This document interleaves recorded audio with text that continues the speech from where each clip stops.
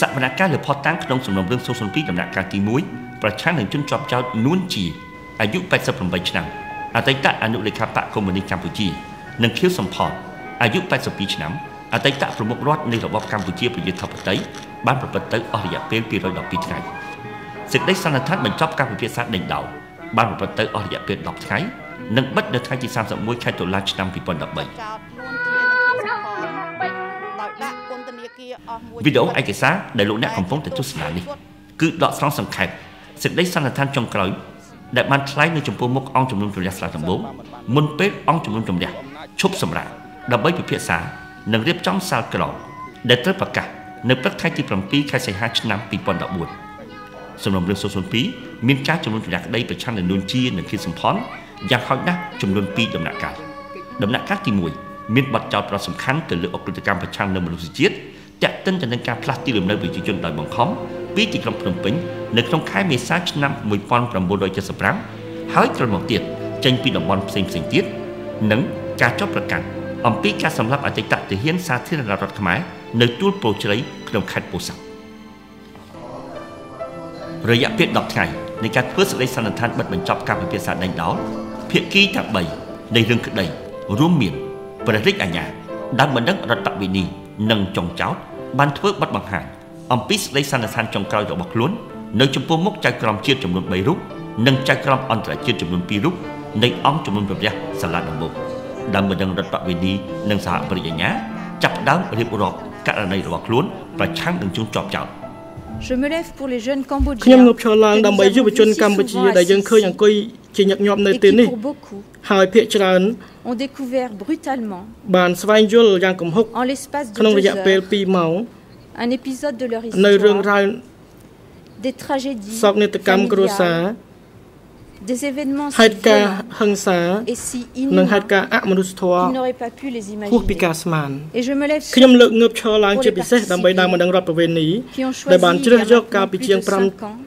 ឆ្នាំមុនក្នុងការចូលរួមយ៉ាងសកម្មក្នុងការជំនុំជម្រះក្តីនេះ de représenter ហើយតំណាងឲ្យជនរងគ្រោះ toutes ផ្សេង les ទៀត victimes, les ទាំងអ្នក survivants. នៅរស់រានមានជីវិត Et និង tous អ្នក ceux បាត់ qui បង់ sont morts. ស្លាប់បាត់បង់ជីវិតទៅហើយ Je me lève ខ្ញុំងើ pour ប ceux ឡើង qui ដើម្បី sont អ្នក morts, ស្លាប់បាត់បង់ជីវិត que ដែល la សម្ដី parole អ្នក des ផ្សេង autres និងជាពិសេសសម្ដីរបស់ដើមបណ្ដឹងរដ្ឋប្រវេណី a បាន fait ធ្វើឲ្យរស់ revivre ici, ឡើងវិញនៅក្នុង dans សវ cette នាការនេះ enceinte, ក្នុងរយៈ pendant ពេលមួយដ៏ quelques ខ្លី instants. ខ្ញុំសូមបួងសួងឲ្យការជំនុំជម្រះនេះ redonne ផ្ដល់សេច toute ក្តី leur ថ្លៃថ្នូរ dignité បន្តិចវិញដល់អ្នកដែលបានស្លាប់បាត់បង់ជីវិតទាំងនោះនៅថ្ងៃទី17ខែមេសាឆ្នាំ1975ជនជាប់ចោតនួនជាខៀវសំផន និងសហចារីរបស់ពួកគេ បានបង្កើតរដ្ឋទាសករដំបូងនៅក្នុងយុគសម័យទំនើបពួកគេបានបញ្ជានិងរៀបចំបណ្ដេញប្រជាជនចេញឲ្យអស់ពីទីក្រុង និងទីប្រជុំជននានា នៅទូទាំងប្រទេសកម្ពុជា ពួកគេបានកំទេចផ្ទះសម្បែងនិងបំបែកបំបាក់គ្រួសារព្រមទាំងគៀងប្រជាជន ដែលត្រូវគេចន្លៀសរាប់លាននាក់ឲ្យទៅក្នុងសហករណ៍ជនបទនៅពេលទៅដល់សហករណ៍ប្រជាជនទាំងនោះត្រូវបានគេឃុំខ្លួនដកហូតសិទ្ធិសេរីភាពជាមូលដ្ឋានរបស់មនុស្សទទួលរងការធ្វើបាបទាំងផ្លូវកាយនិងផ្លូវចិត្តនិងត្រូវបានបង្ខំឲ្យរស់នៅក្នុងស្ថានភាពដ៏ភ័យរន្ធត់ ដើមបណ្ដងរដ្ឋវិន័យក៏ទទួលរងនៅការភ័យរន្ធត់ជាខ្លាំងនៅពេលដែលមាននៅអំឡុងពេលនៃការជំនះនោះដោយឃើញសាកសពត្រូវបានគេបោះបង់ចោលនៅតាមផ្លូវមនុស្សចាស់ចាស់កំពុងដេកស្លាប់ដោយគ្មានជំនួយអឺការចន្លៀសទាំងនេះគឺដើម្បីពង្រឹងអំណាចរបស់បកកុម្មុយនីសកម្ពុជានិងការការពារមេដឹកនាំក្នុងនោះរួមមានជនជាប់ចោតទាំងនេះពីខ្មាំង ឬអ្នកដែលត្រូវបានគេចាត់ទុកថាជាខ្មាំងដូច្នេះការចន្លៀសធ្វើឡើងគ្មានចង់បានអ្វីក្រៅតែពីអំណាចសហមេធាវីការពីក្តីអង្គជំនុំជម្រះស្លាដំបងក៏បានស្ដាប់សហមេធាវីការពារក្តីផងដែរអំពីការផ្លាស់ទីលំនៅប្រជាជនទាំងពីរដំណាក់កាលនៅក្នុងឆ្នាំ1975ខ្ញុំក៏សូមបន្តទៅការចោទប្រកាន់ពីបទអំពីអមនុស្សធម៌តាមរយៈការជំលះប្រជាជនដោយបង្ខំ ការចោទប្រកាន់នេះ គឺពុំបានជំរះទៅមន្ទិលសង្ស័យរបស់តុលាការដោយផ្អែកទៅលើហេតុផលពីរយ៉ាង ដែលអាចដែលយើងខ្ញុំបានបញ្ជាក់យ៉ាងច្បាស់នៅក្នុងសារណាធ្វើសេចក្តីសន្និដ្ឋានបញ្ចប់របស់យើងខ្ញុំ គឺទី1ការបំលាស់ទីគឺពុំបានធ្វើឡើងដោយបង្ខំទេហើយទី2គឺថា វាមិនបានកើតឡើងនៅក្នុងកាលៈទេសៈដែលធ្វើឲ្យវាคล้ายជាបាត់អក្រិតឡើយអ្វីបើមានការខំប្រឹងប្រែងរបស់សហប្រញ្ញាដែលបានសរសេរនៅក្នុងសេចក្តីសន្និដ្ឋានរបស់ខ្លួនថាជនត្រូវជំលះនៃការជំលះប្រជាជនដំណាក់កាលទី2ត្រូវបានបង្ខំក៏ពិតមែនតែភាពជាក់ស្ដែងនៅតែបង្ហាញថាជនទាំងនោះភាគច្រើនបានស្ម័គ្រចិត្តធ្វើដំណើរទៅ ទៅភូមិភាគពីយប់ដោយខ្លួនឯងឬក៏ពួកគេសប្បាយចិត្តចង់នឹងមានបំណងចង់ធ្វើដំណើរទៅភូមិភាគពីយប់នោះការជំនះប្រជាជនទី1ក៏ដូចជាទី2ដែរបង្ហាញអំពីចំណុចដែលថាវាខុសពីអ្វីដែលសហប្រញ្ញាបានលើកឡើងហើយនឹងខុសពីដីកាដំណោះស្រាយគឺថាវាមិនមែនជាជាចេតនាមួយ មកអាក្រក់ទេគឺវាជាស្ថានភាពគឺជាវិធានការមួយដើម្បីដោះស្រាយបញ្ហាសេដ្ឋកិច្ចនៅកម្ពុជាលោកប្រធានលោករិស័យចក្រមការទម្លាក់ក្របីរបស់អាមេរិកក៏ធ្វើឲ្យមានការប៉ះពាល់យ៉ាងធ្ងន់ធ្ងរដល់គោលនយោបាយរបស់បកគមនីកម្ពុជាទាក់ទងនឹងការបង្កើតសហគមន៍កសិកម្មពួកគេបានបានបង្ហាញអំពីការពិតថាប្រទេសកម្ពុជាប្រឈមនឹងគ្រោះមហន្តរាយសេដ្ឋកិច្ចដោយសារតែការបំផ្លាញទៅលើរចនាសម្ព័ន្ធសេដ្ឋកិច្ចដោយការទម្លាក់ក្របីរបស់អាមេរិក ខ្ញុំមិនដែលប្រាថ្នាឬក៏បានសម្រេចជំលះប្រជាជនអ្វីទាល់តែសោះហើយខ្ញុំក៏មិនដែលប្រាថ្នាឬសម្រេចឲ្យមានការកាប់សម្លាប់អ្វីទាល់តែសោះជំនឿខាងនយោបាយរបស់ខ្ញុំ អ្វីដែលខ្ញុំបានខិតខំធ្វើសកម្មភាពជាហោហែកន្លងមកនេះគឺដើម្បីការពារអ្នកទន់ខ្សោយគឺដើម្បីឲ្យគេគោរពនៅសិទ្ធិដ៏ជាមូលដ្ឋានរបស់ពួកគេ ហើយដើម្បីប្រទេសជាតិយើងកម្ពុជាយើងមានភាពរឹងមាំនិងឯករាជ្យបរិបូរណ៍សហបរិញ្ញាបានលើកតល័យកថាផុសតាងបានបង្ហាញឲ្យឃើញយ៉ាងច្បាស់ថាជនជាប់ចោតទាំងពីររូបបានដើរតួនាទីយ៉ាងសំខាន់នៅក្នុងសហអក្រិតកម្មរួម លោកនួនជានៅថ្ងៃទី22ខែតុលាប្រហែលជាម៉ោង9:30នាទីគាត់បានទទួលស្គាល់ថាគាត់គឺជាអនុលេខាបកគមនីកម្ពុជាគាត់ឯកភាពថាគាត់បានចូលរួមនៅក្នុងការបណ្ដេញប្រជាជនចេញពីទីក្រុងភ្នំពេញគាត់បានយល់ស្របថាគាត់បានឯកភាពនៅក្នុងសេចក្តីសម្រេចលើការសម្លាប់ជនមហាក្បត់ក៏ប៉ុន្តែសហមេធាវីការពារក្តីបានជំទាស់ ទៅនឹងការជាប់ប្រកាន់របស់សហប្រញ្ញាដែលថាជនជាប់ចោតមានទូនីតិសំខាន់ក្នុងការបង្កើតនិងអនុវត្តគោលនយោបាយអុក្រិតមិនថាសហប្រញ្ញាមិនថាចក្រមសើមគិតទេគឺមិនមានមិនបានបង្ហាញឲ្យច្បាស់លាស់ថា មនុស្សនៅក្នុងបករាប់បញ្ចូលទាំងលោកនួនជា នោះបានធ្វើការជំលះប្រជាជន ដោយបំណងក្នុងការបង្កស្នាមរបួស ដល់ប្រជាជនដែលត្រូវជំនះដោយសារតែពួកគេបានមានខ្សែរយៈជាមួយរបបខ្មែរសាធារណរដ្ឋឬដោយសារជាប្រជាជនថ្មីនោះទេគ្មានផុសតាងណាបញ្ជាក់ថានួនជាចូលរួមក្នុងការឯកភាពគ្នាក្នុងការបង្កើតគម្រោងការបញ្ជាឬញុះញង់ឲ្យមានលក្ខខណ្ឌដើម្បីធ្វើទុកបុកម្នេញដោយមូលហេតុនយោបាយ ដោយសហប្រញ្ញា បានលើកឡើងនោះឡើយតកតងទៅនឹងការជំលះដំណាក់កាលទី2យើងមានផោះតាងមិនអាចជំទាស់បានទេមកខាងខាងប្រញ្ញាក៏បានជំទាស់ដែរថាខៀវសំផនកាលនោះគាត់នៅបរទេសទេតកតងការជំលះលើកទី2នេះ នៅពេលដែលគេធ្វើសេចក្តីសម្រេចជំនះប្រជាជនដំណាក់កាលទី2នេះគាត់នៅបរទេសទេហើយគាត់ déplacement de population ហើយនៅទីនេះมันមានអ្នកណាបង្ហាញខុសតាងណាមួយថាបង្ហាញថាគាត់បានចូលរួមក្នុងការអនុវត្តនៃការជំនះប្រជាជនលើកទី2នេះទេ ces déplacements រយៈពេល4ថ្ងៃដែលតម្រូវឲ្យក្រុមមេធាវីការពារក្តីទាំងពីរក្រុម ធ្វើសេចក្តីសន្និដ្ឋានបិទបញ្ចប់ការពិភាក្សាដេញដោលក្រុមមេធាវីបានអះអាងថាកូនក្តីរបស់ពួកគាត់មិនពាក់ព័ន្ធទៅនឹងអក្រិតកម្មឬបានដឹងអំពីអំពើអក្រិតដែលសហប្រញ្ញា បានលើកឡើងនោះទេលោកខៀវសំផនមិនមានទួនាទីក្នុងការធ្វើសេចក្តីសម្រេចក្នុងនាមជាសមាជិកនៃគណៈអចិន្ត្រៃយ៍ពេញសិទ្ធិនោះឡើយប៉ុន្តែលោកខៀវសំផនគឺជាបញ្ញជន ដែលគាត់មិនបានឆ្លងកាត់ទួនាទីជាប្រធានភូមិភាគពីមុនមកទេនេះអាចបញ្ជាក់ឲ្យឃើញថាលោកខៀវសំផនបានទទួលតំណែងដោយសារតែប្រជាប្រិយភាព ដែលបកកុម្មុយនីសកម្ពុជាត្រូវការប្រើមិនមែនតាមរយៈការតស៊ូលុតដំនោះទេ នៅក្នុងសវនកម្មនេះសហបរិយាអាញាបានបង្ហាញថា លោកនួនជាជាមនុស្សសាហាវដែលគោលបំណងរបស់គាត់ គឺដើម្បីបង្កើតរដ្ឋទេសកលក្នុងប្រទេសកម្ពុជា ជាការពិតណាស់គាត់ស្រឡាញ់ប្រទេសរបស់គាត់ និងប្រជាជនរបស់គាត់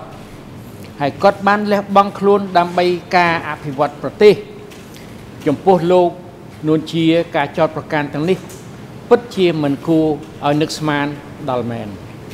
លោកលោកស្រីចក្រមដោយខ្ញុំបានជម្រាបជូនរួចហើយ ខ្ញុំក្រោកឈរនៅពេលនេះដើម្បីការពារសុភាពបរិសម្នាក់ដែលត្រូវគេលាបពណ៌ឲ្យខ្លាចជាបិសាចឥឡូវនេះនៅពេលដែលពណ៌ត្រូវរលប់បាត់អស់យើងនឹងឃើញយ៉ាងច្បាស់ថាសុភាពបរិសនោះគឺលោកខៀវសំផនដ៏ស្អាតស្អំដែលអង្គជំនុំជម្រះត្រូវតែឲ្យរួចខ្លួនពីបទចោទនិងផ្ដល់សេរីភាពជូនលោកវិញសូមអរគុណដែលយងលើផុសតាំងជាឯកសារនិងសហកម្មនានាដែលបានបង្ហាញជូនតុលាការក្នុងពេលជំនុំជម្រះក្តីសហបរិយាអាញាបានគូបញ្ជាក់ថា ជនជាប់ចោតនួនជានិងខេសំផនគឺជាផ្នែកនៃការធ្វើសេចក្តីសម្រេចនៅក្នុងសហអក្រិតកម្មរួមការអះអាងដ៏ទូលាយទូលំទូលាយមិនមែនថាលោកខៀវសំផនជាមេដឹកនាំទេ ហើយគាត់ក៏មិនបានចូលរួម ក្នុងបទអក្រិតនៃសហអក្រិតកម្មរួមដែរប៉ុន្តែគាត់បានคล้ายទៅជាបុគ្គលដែលជាឋានៈដឹកនាំនៅក្នុងរបបនោះ ហេតុអ្វីបានគាត់មិនមានគុណវុឌ្ឍិគាត់អះអាងថាគាត់ជាបញ្ញាជនមិនអាចធ្វើបានទេតើមានតែគៀសំផនម្នាក់ដែលជាបញ្ញាជននៅក្នុងបកគមកម្ពុជាតើមានអ្នកណាផ្សេងទៀតទេ គឺមាន គឺសុនសេនអៀងសេរីនួនជាកុយធួនបាទមានមនុស្សច្រើនទៀតបន្តទៀតដែលសុទ្ធតែជា បញ្ញវន្តដែលជាអ្នកមានការអប់រំខ្ពស់ហើយខេសំផនក្នុងករណីនេះមិនមែនជាមនុស្សពិសេសថាជាបញ្ញាជននោះទេជនជាប់ចោតនួនជាភាកច្រើនបានតាមដានកិច្ចដំណើរការជំនុំជម្រះក្តីទាំងមូលពីបន្ទប់ឃុំខ្លួនខាងក្រោមសាសនាការដោយបញ្ហាសុខភាព បានសម្ដែងលើកអារម្មណ៍ទទួលខុសត្រូវខាងសិលធម៌ចំពោះការឈឺចាប់របស់ជនរងគ្រោះប៉ុន្តែបានបញ្ជាក់ថាគាត់មិនបានប្រព្រឹត្តអក្រិតកម្មដែលបានចោទមកលើរូបគាត់នោះទេ ទោះបីជាយ៉ាងណាខ្ញុំនៅតែសម្ដែងនៅការសោកស្ដាយជាទីបំផុតនិងសូមទទួលខុសត្រូវផ្នែកសិលធម៌ចំពោះជនរងគ្រោះទាំងអស់និងប្រជាជនកម្ពុជាទាំងមូលដែលបានទទួលរងគ្រោះក្នុងរបបកម្ពុជាប្រជាធិបតេយ្យជាការពិតសម្រាប់ប្រវត្តិសាស្ត្រទាំងគោលនយោបាយទាំងមេគា និងទាំងផែនការរបស់ចលនាបកកុម្មុយនីសកម្ពុជា បានបង្កើតឡើងក្នុងគោលបំណងតែមួយគត់គឺរំដោះប្រទេសជាតិនិងប្រជាជនឲ្យរួចផុតពីអាណានិគមនិយមចក្រពត្តិនិយម និងការជិះជាន់កេងប្រវ័ញ្ចភាពក្រីក្ររកទីបំផុតគ្មាន ការជ្រៀតជ្រែកនិងការឈ្លានពានពីប្រទេសជិតខាង ពិសេសពីប្រទេសវៀតណាម វិនិស្សកម្មដែលកើតឡើងក្នុងរបបកម្ពុជាប្រជាធិបតេយ្យដោយសារមូលហេតុដូចខាងក្រោមទី1អ្នកដឹកនាំរបស់បកកុម្មុយនីសកម្ពុជាជ្រើសរើសកម្មាភិបាលមួយចំនួនខុសដោយអ្នកខ្លះក្បត់ អ្នកខ្លះក្តាប់មិនបាន ពីមេគារបស់បកហើយអ្នកដឹកនាំរវល់តែកិច្ចការនៅទីក្រុងភ្នំពេញ មិនសូវបានចុះតាមសហគរឲ្យបានជាប់លាប់ទី2មានមេដឹកនាំភូមិភាគតំបន់ស្វយ័តនិងកម្មាភិបាលមួយចំនួន ជាភ្នាក់ងារបង្កប់របស់វៀតណាម និងអាមេរិកដែលក្បត់បដិវត្តពួកគេបានធ្វើសកម្មភាពបំផ្លិចបំផ្លាញចលនាបកកុម្មុយនីសកម្ពុជា ប្រជាជនកម្ពុជា និងប្រទេសកម្ពុជា ចំពោះជនជាប់ចាប់គេសំផនវិញគាត់បានបញ្ជាក់ពីទស្សនៈយល់ឃើញរបស់គាត់ជាថ្មីម្ដងទៀតថាគាត់ខកចិត្តចំពោះការជំនុំជម្រះក្តីនេះដោយគាត់លែងមានទំនុកចិត្តទៅអង្គជំនុំជម្រះវិសាមញ្ញក្នុងតុលាការកម្ពុជាតទៅទៀតហើយពីព្រោះពីរដ្ឋភាពរបស់គាត់ហាក់ដូចជាត្រូវបានគេកំណត់ទុកជាមុនរួចទៅហើយគាត់ក៏បានចោទប្រកាន់ផងដែរថាអបតកបានរំលោភលើសិទ្ធិរបស់គាត់ដែលត្រូវទទួលបានការជំនុំជម្រះប្រកបដោយយុត្តិធម៌ខ្ញុំមានអារម្មណ៍ថា ទោះបីខ្ញុំខំនិយាយបញ្យលយ៉ាងណាក៏ដោយក៏គេនៅតែមិនយកចិត្តដាក់ទុកដាក់ស្ដាប់ខ្ញុំឡើយ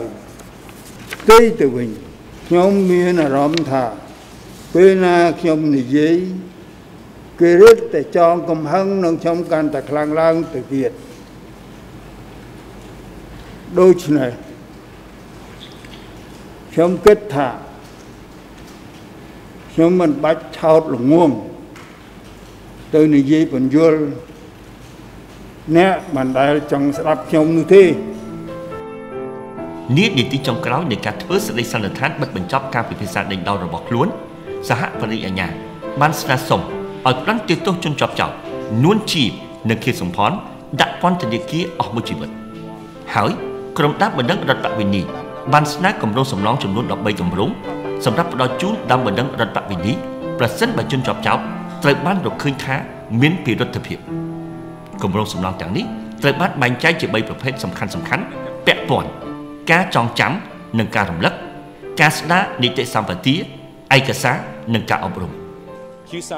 ជនជាប់ចោតមានពិរុទ្ធភាពពីឧក្រិដ្ឋកម្មដែលពួកគាត់ចោតប្រកាន់ដោយសារតែពួកគាត់ចូលរួមនៅក្នុងថាឧក្រិដ្ឋកម្មរួមឧក្រិដ្ឋកម្មគ្រប់ទាំងអស់ដែលបានប្រព្រឹត្តឡើងគឺដើម្បីសម្រេចទៅតាមគោលបំណងឧក្រិដ្ឋរបស់ពួកគេ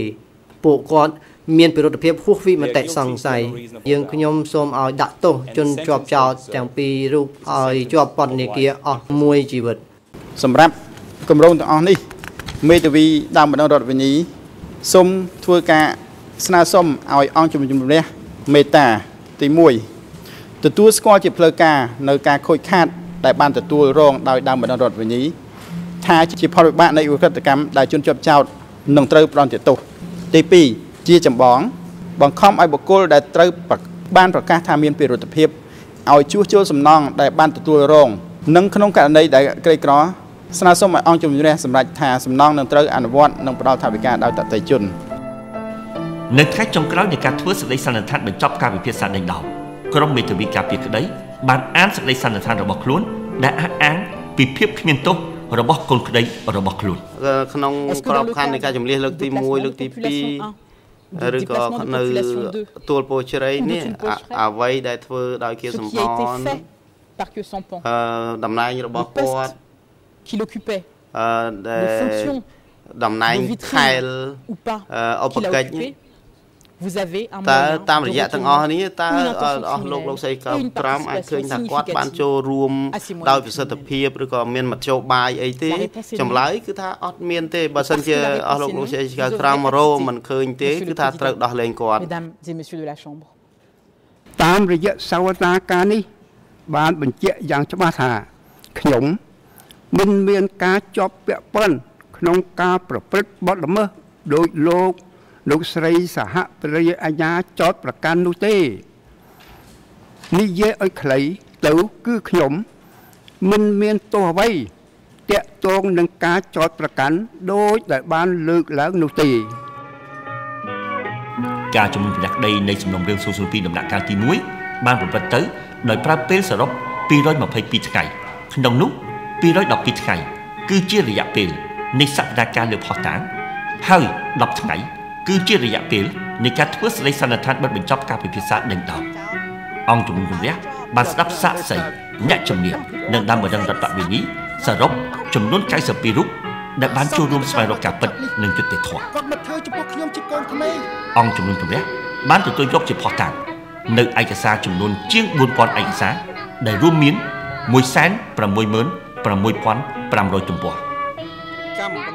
សារក្រមនៃសំណុំរឿង002ដំណាក់កាលទី1នេះនឹងប្រកាសនៅព្រឹកថ្ងៃប្រហ័សទី7ខែសីហាឆ្នាំ2014វេលាម៉ោង9ព្រឹកនៅក្នុងសាលសវនកម្មធំនៃអង្គជំនុំជម្រះវិសាមញ្ញក្នុងតុលាការកម្ពុជាប្រសិនបើមានការផ្ដន់ទោសសេចក្តីសម្រេចលើការកំណត់ទោសទណ្ឌនិងសំណើសុំសំណងរដ្ឋវិនីក៏នឹងត្រូវប្រកាសផងដែរគ្រប់ស្ថានីយវិទ្យុនិងទូរទស្សន៍ក្នុងស្រុកនឹងធ្វើការផ្សាយផ្ទាល់ ពីព្រឹត្តិការណ៍ជាប្រវត្តិសាស្ត្រនេះអង្គជំនុំជម្រះវិសាមញ្ញក្នុងតុលាការកម្ពុជានឹងផ្សាយផ្ទាល់ផងដែរតាមរយៈគេហទំព័រ www.ecccc.gov.kh